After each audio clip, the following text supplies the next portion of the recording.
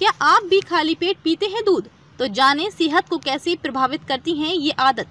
दूध कई पोषक तत्वों से भरपूर एक हेल्दी ड्रिंक है जिसे शरीर के सही विकास के लिए पीना फ़ायदेमंद माना जाता है। हालाँकि दूध को सही तरीके से पीने पर ही सेहत को इसके सही लाभ मिल सकते हैं। कुछ लोग इसे खाली पेट भी पी लेते हैं। और ऐसे में आज इस आर्टिकल में हम आपको बताएँगे खाली पेट दूध पीने के कुछ फ़ायदे के बारे में। बच्चों का पहला आहार दूध बच्चे से लेकर बूढ़े तक, सभी को डाइट का एक अभिन्न अंग है।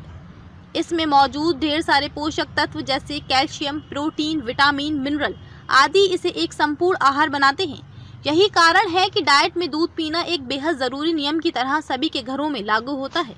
कुछ माएँ सुबह शाम अपने बच्चे को दूध और बिस्किट खिलाकर स्कूल भेजती हैं और कुछ रात में सोने से पहले एक बड़ा दूध का गिलास बच्चों को पिलाती हैं। अधिकतर घरों में दूध सुबह ब्रेकफास्ट का हिस्सा होता है और अगर बच्चे ब्रेकफास्ट करने में आनाकानी करते हैं तो उन्हें एक गिलास दूध पिलाकर एक संतुष्टि का अनुभव होता है। लेकिन इस तरह सुबह सुबह खाली पेट दूध पीना कितना सही है, आइए जानें। खाली पेट दूध पीने का असर आयुर्वेद के अनुसार सुबह खाली पेट दूध पीना सेहत को फ़ायदे से अधिक नुकसान पहुंचाता है। दूध में एक शुगर पाया जाता है, जिसे लैक्टोस कहते हैं। ये इंसुलिन स्पाइक कर सकता है। कुछ लोग इसे पचाने में असमर्थ होते हैं, जिन्हें लैक्टोज इंटॉलरेंट कहा जाता है। ऐसे लोग अगर सुबह खाली पेट दूध पीते हैं तो एलर्जिक रिएक्शन हो सकते हैं। जैसे स्किन में खुजली, सांस लेने में दिक्कत डायरिया आदि।